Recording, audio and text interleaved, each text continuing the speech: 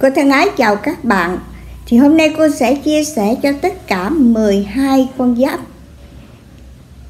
Trong cái tháng 9 này thì xem cái tuổi nào mà chúng ta được tốt Và tuổi nào chúng ta không được không có được cái may mắn cho lắm. Thì ờ, các bạn lắng tai nghe nha.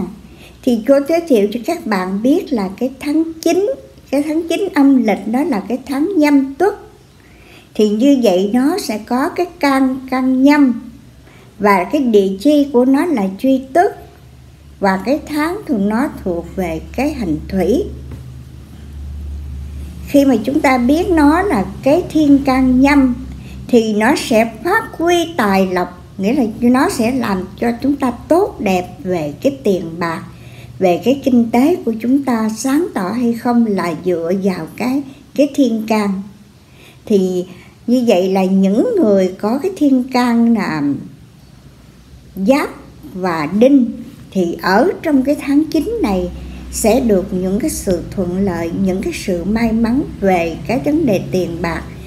Cô phân tích cho các bạn nghe kỹ là chúng ta xét cái thiên can là chúng ta xét về tài lộc, rồi một chút chúng ta mới xét về cái cái tuổi thì nó sẽ nói về cái nhân và cái địa lợi của mình nó khác nhau chúng ta được một cái mặt là cái mặt thiên can.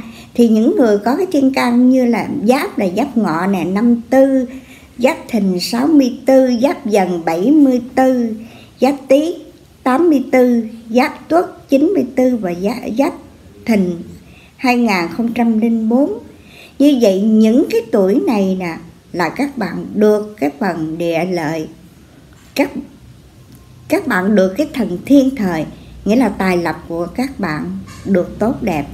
Tiếp sang những người có cái thiên can đinh cụ thể như là đinh dậu nè sinh 57 Đinh Mùi 67, Đinh Tỵ 77, Đinh Mão 87, Đinh Sửu 97 và Đinh Hợi 2007 là chúng ta được cái vấn đề tài lộc, chúng ta được cái thiên thời. Nhưng còn một vế nữa là chúng ta phải xét xem một tí nữa chúng ta xét thì cái tuổi mình có hợp với cái tuổi của tháng hay không thì nó mới ra được là mình được nhiều cái cái tốt đẹp hay không. Chứ chúng ta không nói mà một vế nha các bạn. Ngược lại thì có tốt thì phải có xấu. Thì những người mà có thiên can bính và cái thiên can mậu ở trong cái tháng 9 này nè thì chúng ta sẽ không được cái tốt đẹp về cái thiên à, thiên thời. Cụ thể như là mậu tuất 58 mậu thân 68 mậu ngọ 78 mậu thìn 88 mậu dần 98 và mậu tý 2008 tiếp tục những người gặp khó khăn tài lộc tài lộc trong cái tháng 9 là cái tuổi có cái thiên can bính là bính thân. Um, sinh năm sáu nè bính ngọ 66 bính thìn. 76 bính dần 86 bính tý 96 và bính tuất 2006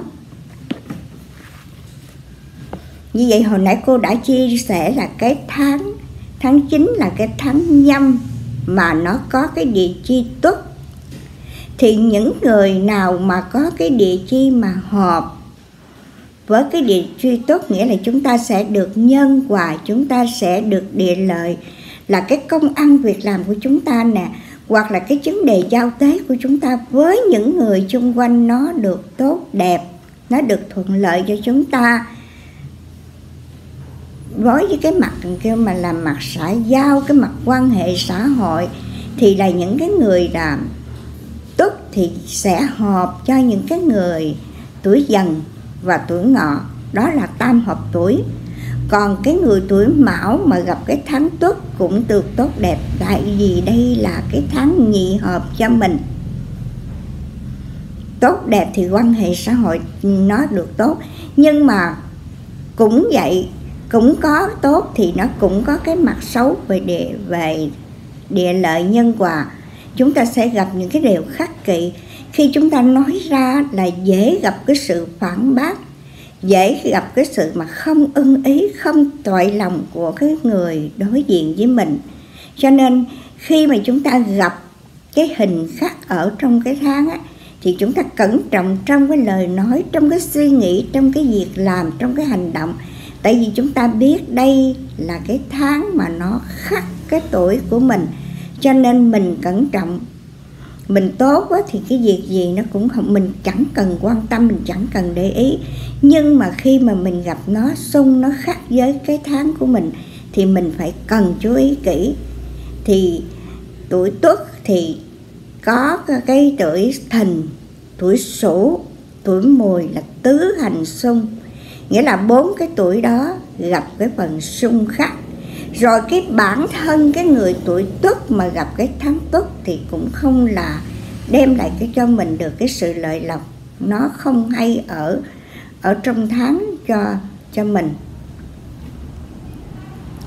Còn thêm nữa là tuổi dậu mà trong cái tháng tuất là cũng không được tốt đẹp. Thì như vậy, cô nhắc lại, các tuổi tuất nè, thìn, sửu, mùi và tuổi dậu thì trong cái tháng này chúng ta cần cẩn trọng. Ngoài ra, còn lại những cái tuổi khác thì bình hòa bình hòa thì không có việc gì mà chúng ta đáng quan tâm hết.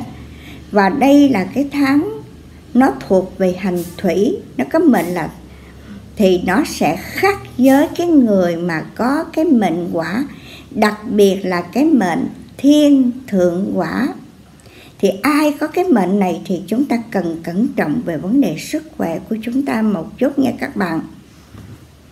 Thì như vậy cô vừa chia sẻ cho các bạn về cái tháng 9 ai tốt nhất và ai xấu nhất. Thì bài chia sẻ đến đây là hết. Trước khi chia tay thì cô có đưa anh vài lời nhắn nhủ như thế này. Bây giờ đây là cái thời buổi mà chúng ta cảm thấy nó khó khăn.